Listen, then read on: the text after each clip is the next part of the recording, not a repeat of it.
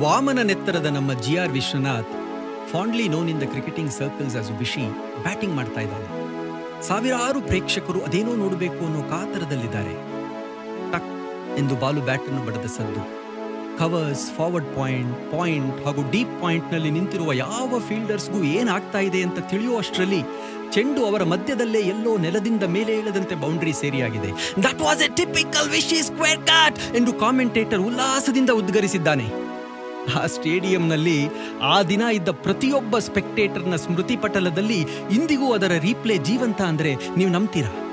That's Vishy for you the most stylish batsman that India has ever produced ಅದಕ್ಕಿಂತ ಮಿಗಿಲಾಗಿ ಆತ ನಿಜವಾದ ಕನ್ನಡಿಗ ಕಣ್ರಿ.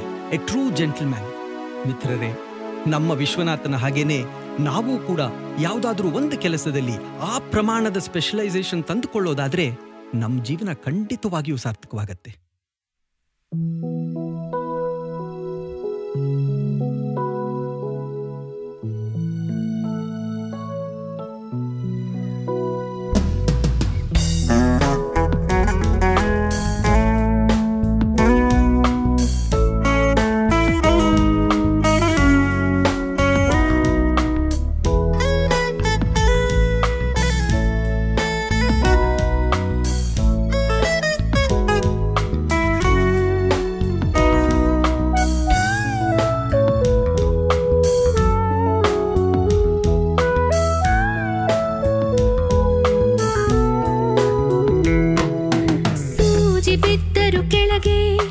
ಶಬ್ದವು ಕೇಳಿದೆಯಲ್ಲ ಸೂಜಿ ಬಿದ್ದರು ಕೆಳಗೆ ಶಬ್ದವು ಕೇಳದೆಯಲ್ಲ ಸಾವಿರ ಸಾವಿರ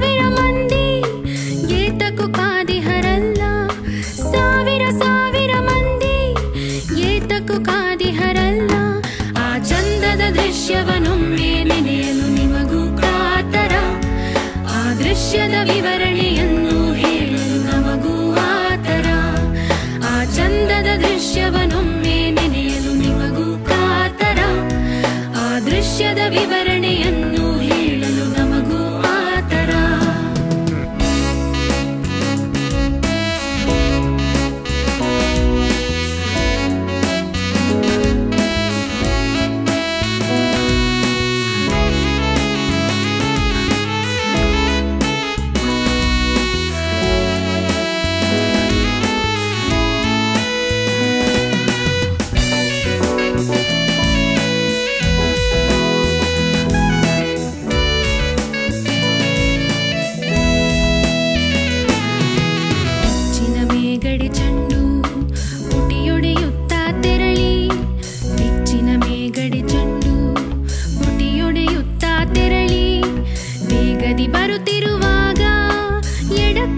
ಸ್ವಲ್ಪವೇ ಹೊರಳಿ ವೇಗದಿ ಬರುತ್ತಿರುವಾಗ ಎಡಕ್ಕೆ ಸ್ವಲ್ಪವೇ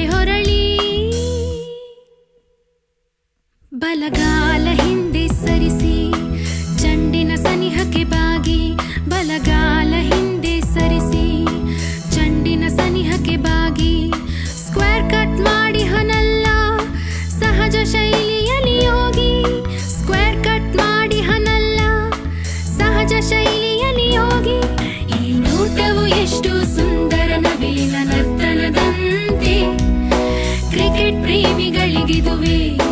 ಕಣ್ಣಿಗೆ ಕಟ್ಟಿದೆಯಂತೆ. ಈ ನೋಟವು ಎಷ್ಟು ಸುಂದರ ನವಿಲಿನ ನರ್ತನದಂತೆ. ಕ್ರಿಕೆಟ್ ಪ್ರೇಮಿಗಳಿಗಿದುವೆ. ಕಣ್ಣಿಗೆ ಕಟ್ಟಿದೆಯಂತೆ. ಸೂಜಿ ಬಿದ್ದರು ಕೆಳಗೆ, ಶಬ್ದವು ಕೇಳಿದೆಯಲ್ಲ.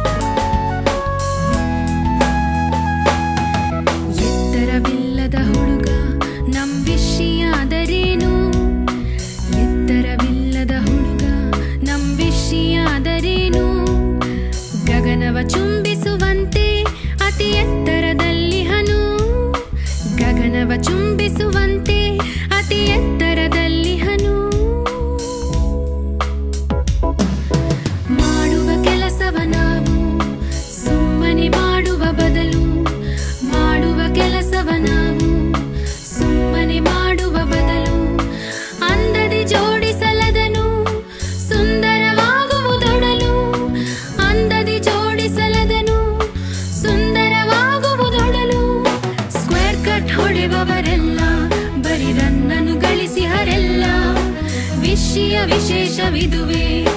ಜನಮನ ಗೆದ್ದಿಹನಲ್ಲ ಸ್ಕ್ವೇರ್ ಕಟ್ ಹೊಡೆವವರೆಲ್ಲ, ಬರಿದನ್ನನು ಗಳಿಸಿಹರೆಲ್ಲ ವಿಶ್ವನಾಥನ ವಿಶೇಷವಿದುವೆ, ಜನಮನ ಗೆದ್ದಿಹನಲ್ಲ ಸೂಜಿ ಬಿದ್ದರು ಕೆಳಗೆ, ಶಬ್ದವು ಕೇಳಿದೆಯಲ್ಲ. ಸೂಜಿ ಬಿದ್ದರು ಕೆಳಗೆ, ಶಬ್ದವು ಕೇಳಿದೆಯಲ್ಲ. ಸಾವಿರ ಸಾವಿರ ಮಂದಿ ಏತಕು ಕಾದಿಹರಲ್ಲ ಸಾವಿರ ಸಾವಿರ ಮಂದಿ ಏತಕು ಕಾದಿಹರಲ್ಲ ಆ ಚಂದದ ದೃಶ್ಯವನೊಮ್ಮೆ ನೆನೆಯಲು ನಿಮಗೂ ಕಾತರ. ಆ ದೃಶ್ಯದ ವಿವರಣೆಯನ್ನು ಹೇಳಲು ನಮಗೂ ಆತರ. ಆ ಚಂದದ ದೃಶ್ಯವನೊಮ್ಮೆ